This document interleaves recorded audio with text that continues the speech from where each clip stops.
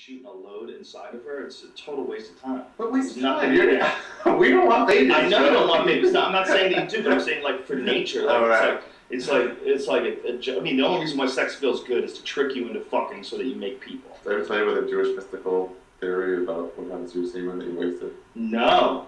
Um, when you pull out or when you masturbate, um, your semen is said to have impregnated some demon woman that's like there, like appearing right here. and She's just fucking you as you're masturbating. You know, Oh my so you get her pregnant. And when you get to heaven, or before you get to heaven, it's purgatory level.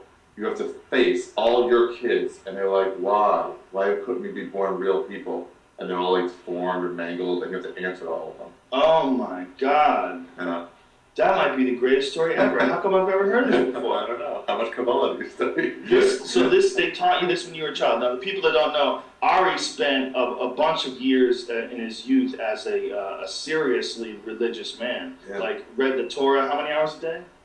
Uh, when I was in Israel, probably like I don't know, 10, 12. 10, 12 hours a day reading the Torah. We're gonna have to fire up the volcano.